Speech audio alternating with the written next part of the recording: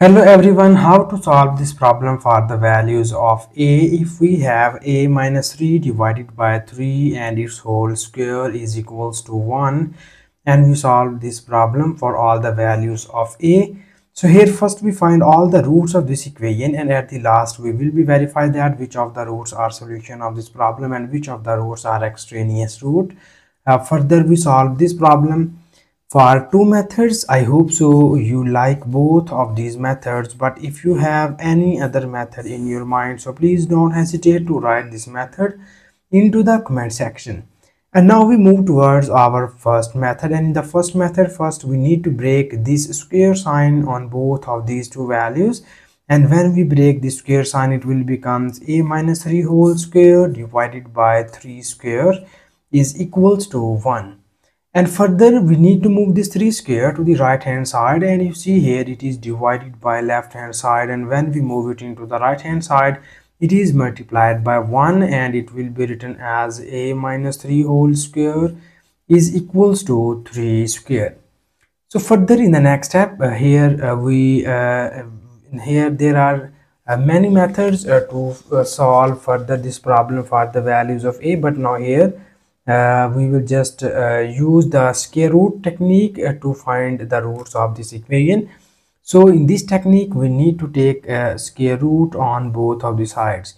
So when we apply square root on both of the sides it will be written as this 3 and this square root are gone and we will get here a minus 3 is equals to here. This 2 and this square root are gone and we will get here 3 and you know about that? When we apply square root sign on both of the sides we will write here plus minus sign on any one of the sides. So we get here a minus 3 is equals to plus minus 3 so further uh, we need to break uh, the right hand side and here first we write our right hand side is positive. It is a minus 3 is equals to plus 3 and here we write the negative value. It is a minus 3 is equals to minus 3 so from here we easily get the value of a is equals to 3 plus 3. This is negative 3. When we move it into the right hand side it will becomes plus 3 and we get here 3 plus 3 becomes 6.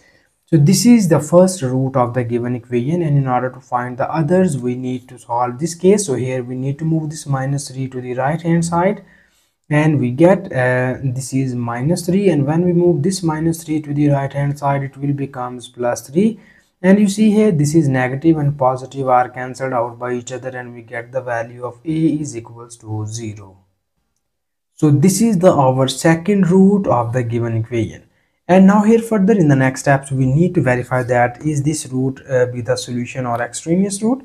Uh, so for this we need to verify both of these two roots. So for verification of the roots we need to copy down given question statement here and the given question statement is a minus 3 divided by 3 whole square is equals to 1 so this is the our given question statement and in this side we will be verify a is equals to 6 and in this side we will be verify a is equals to 0 so further in the next step uh, here we need to substitute uh, this value of a into the left hand side. And when you put this value here it will becomes 6 minus 3 divided by 3 and its whole square is equals to 1 so we have 6 minus 3 becomes 3 divided by 3 whole square is equals to 1 this 3 is cancelled out by this 3 and we get here 1 square is equals to 1 and we know that 1 square is 1 so both of the sides are equal.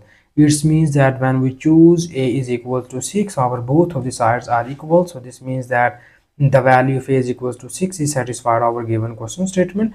And now we uh, check our second value. And for this we substitute a is equal to 0 into the left hand side. So when you put this value here it will becomes 0 minus 3 divided by 3 whole square is equals to 1 and uh, we will obtain here 0 minus 3 becomes minus 3 divided by 3 whole square is equals to 1 so this 3 is cancelled out by this 3 and uh, we obtain here minus 1 square is equals to 1 uh, so here we know that minus 1 square becomes plus 1 is equals to 1 so this uh, shows that again both of the sides are equal. This means that the second value of a is also satisfied our given question statement.